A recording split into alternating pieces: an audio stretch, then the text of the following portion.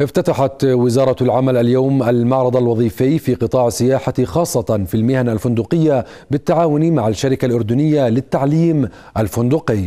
وتوقع وزير العمل علي الغزاوي خلال افتتاح المعرض توفير ما يقارب الألف فرصة عمل في مختلف التخصصات الفندقية والسياحية واللوجستية. ويقام اليوم الوظيفي بدعم من برنامج الأمم المتحدة الإنمائي ويستمر على مدى يومين.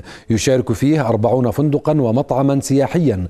ويأتي تسييدا للتعاون ما بين القطاعين العام والخاص في توفير فرص عمل للعاطلين.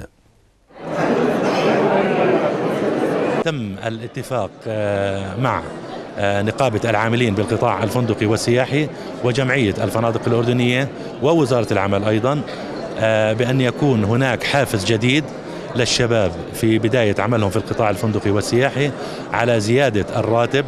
يعني بما أعنيه أن الشاب الجديد الذي سوف آه، آه، يعمل في القطاع الفندقي والسياحي بإذنه تعالى سوف يكون راتبه لا يقل مع نقطة الخدمة بحدود ال 400 دينار شهريا.